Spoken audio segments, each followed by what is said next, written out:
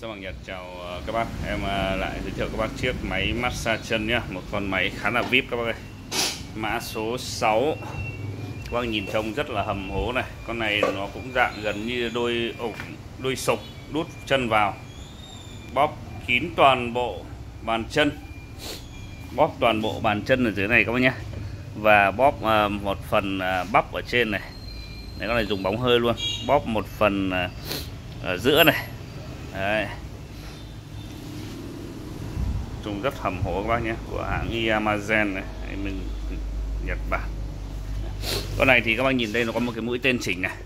Mình có thể à, điều chỉnh Bấm đây các bác bấm đây nhé Thì các bác có thể kéo nó xuống. À, Đấy kéo nhiều mức. Đấy.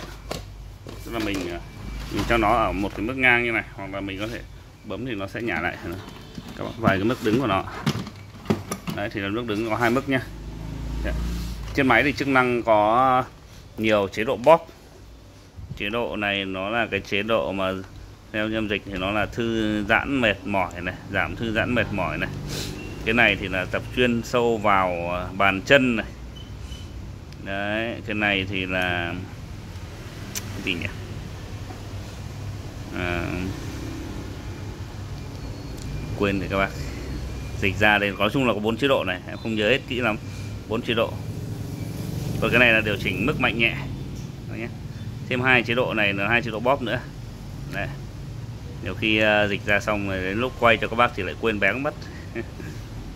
Đấy, tắt. Đấy, nói chung là có bốn chế độ bóp coi nhé. Bốn chế độ bóp lập tự động à, lập trình tự động bốn chương trình. Này khá đẹp.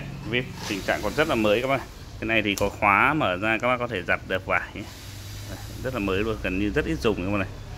Đấy, rất sạch mới nhé Đấy.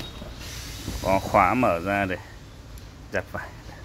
Chiếc này thì em bán là hai triệu rưỡi nhé hai triệu rưỡi các bác lưu ý là máy chạy điện 100V hàng nhập nội địa mà.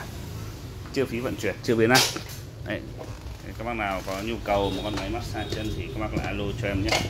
À, rất mong là các bác ủng hộ bên shop em. À, chào các bác.